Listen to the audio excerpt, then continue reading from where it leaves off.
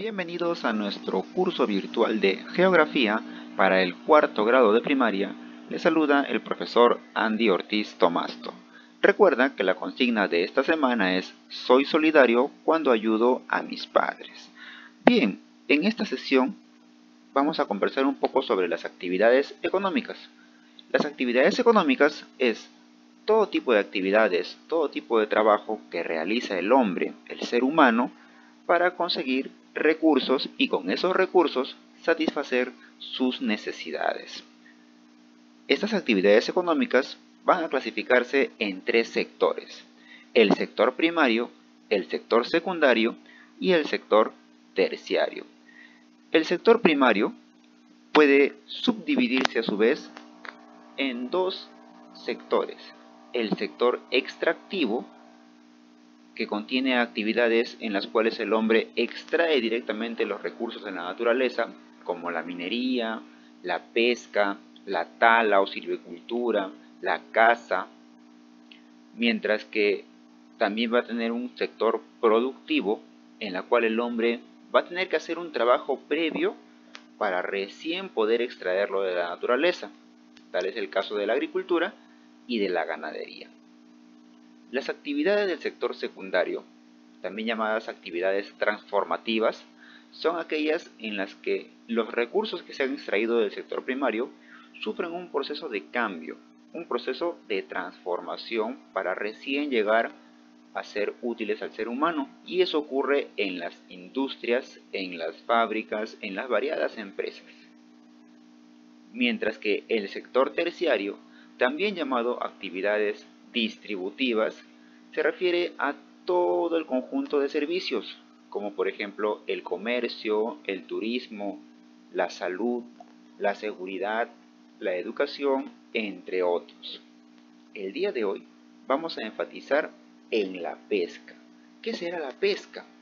Si bien es cierto, nosotros como sociedad que vivimos en la costa, estamos muy, muy pendientes, rodeados constantemente en nuestra dieta diaria del pescado. Sí, pero ¿cómo podemos definir la pesca? Bueno, la pesca es una actividad económica primaria que consiste en la extracción de recursos hidrobiológicos. Esta palabrita es importante porque no solamente la pesca son peces, sino todos los recursos hidrobiológicos. Hidro, que significa agua, y biológicos, que significa seres que tienen vida. Entonces, todos los recursos que el mar o el río nos va a brindar viene a ser parte de la pesca. Por ejemplo, los moluscos, los mariscos, entre otros. Veamos los tipos de pesca que vamos a encontrar. Primero, vamos a conversar sobre la pesca artesanal. Algo artesanal es algo rudimentario, algo que se ha, hecho desde hace tiempo y que ha cambiado muy pero muy poco. Entonces, en base a ese concepto de artesanal, podemos decir que la pesca artesanal es aquella pesca que se realiza en embarcaciones pequeñas, pequeños botes, pequeñas lanchas, pequeños caballitos de totora, que solamente da trabajo a pocos trabajadores, a pocos pescadores, a pocos, tal como se ve en la imagen, balsa pequeña con tres trabajadores. Tiene implementos sencillos, eso quiere decir que a lo mucho, lo más grande de tecnología que va a tener es el motor de la lancha, a lo mucho. ¿Por qué? Porque por lo demás usan para la pesca una red o hilos de pescar y no usan mayor tecnología. Por lo tanto, su extracción es escasa, es decir, tienen poca extracción de peces. Y lo que van a extraer del mar o de los ríos básicamente es para el consumo humano directo. Eso quiere decir que lo que ellos han pescado en el día, por eso van muy temprano a pescar, les sirve para que se alimenten ellos y sus familias y el resto lo vende a los principales mercados, ¿no? Vienen los, compradores, se abastecen de, estas, de, estos, de esta pesca y ellos ya se deshacen de sus recursos que han extraído. Muy diferente a lo que va a ocurrir en la pesca industrial.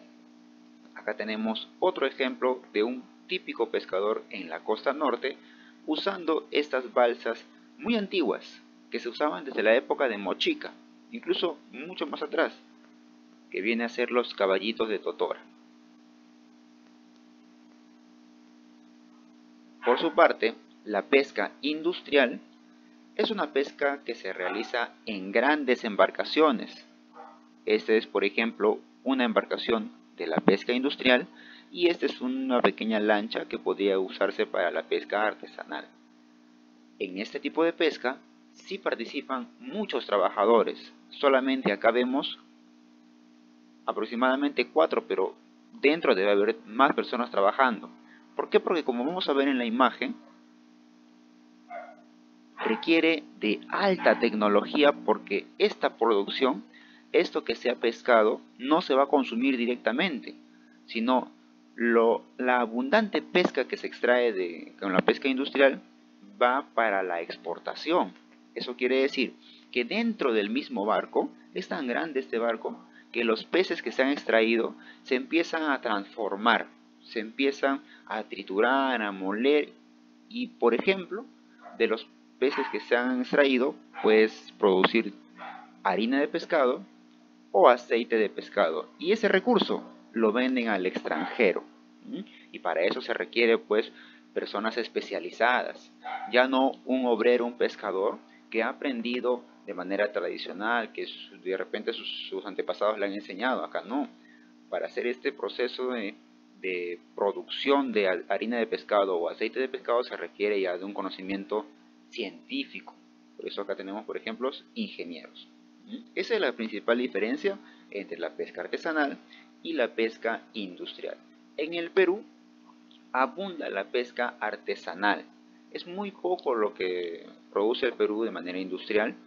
Es más la pesca artesanal. Pero sobre todo, el Perú tiene un amplio mar que se puede aprovechar y nosotros como sociedad costera debemos consumir pescado como mínimo tres veces a la semana. Lamentablemente el pescado a veces sube de precio, pero bueno, lo mínimo tres veces a la semana porque es muy nutritivo. Algunos datos importantes que nos pueden ayudar a mejorar nuestra comprensión sobre el tema de la pesca, por ejemplo, si nosotros observamos este mapita del Perú, ya te vas dando cuenta que le he quitado los nombres a los departamentos porque es tarea tuya aprenderte la localización de los 24 departamentos, 25 con el Callao las 25 regiones. Entonces, en este mapita, por ejemplo, podemos señalar en el departamento de Piura, vamos a encontrar el puerto de Paita, que es el primer puerto pesquero del Perú. Departamento de Piura, el puerto de Paita.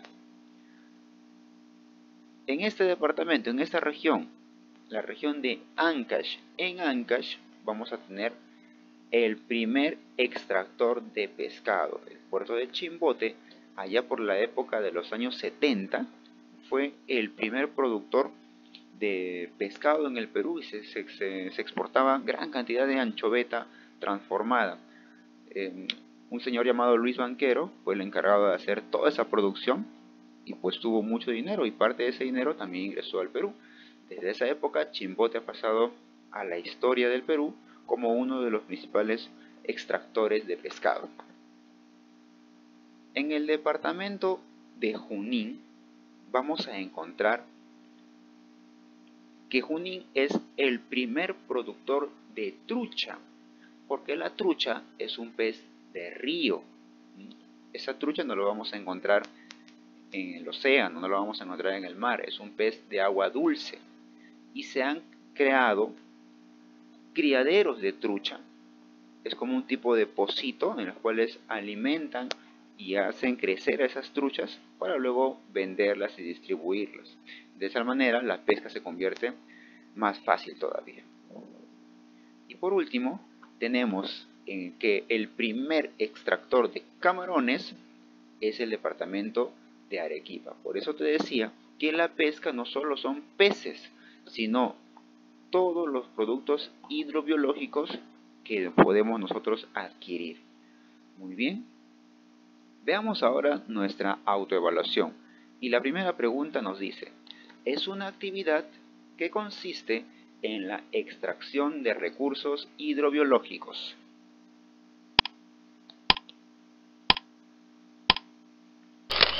Muy bien, si tú has dicho minería, la respuesta sería errada, porque la minería es una actividad que consiste en extraer recursos minerales del suelo y del subsuelo.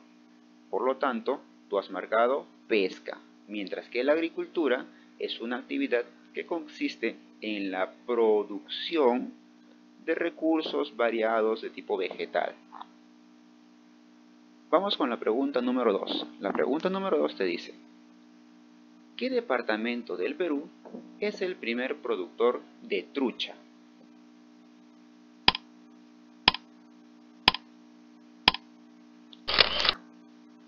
Si has dicho Ancash, la respuesta es errada. Pero si has dicho Arequipa, la respuesta también será errada porque Junín es el primer productor de trucha a nivel del Perú. No te olvides que tienes una tarea pendiente. Con ayuda de tus papás, de tus hermanos, en familia, resuelve las siguientes preguntas.